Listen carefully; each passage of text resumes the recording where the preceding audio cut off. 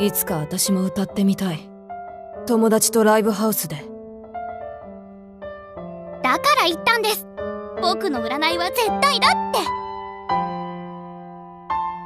元気そうでよかった。八千代。どうして?欲しくて。運命は覆りません。受け入れるしかないです。昔の私とは違うんだ。みんなと戦える今に。感謝。嘘つ